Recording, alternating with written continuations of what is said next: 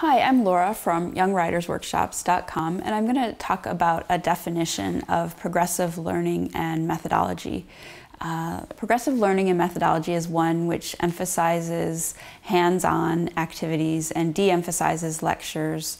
It often um, revolves around group discussion or a lab activity where students will be engaged in um, actively finding an answer or learning. Um, and uh, it um, tends to center on um, a student-centered approach that would be um, individualized learning as opposed to uh, learning in a large group where everyone has to learn at the same pace.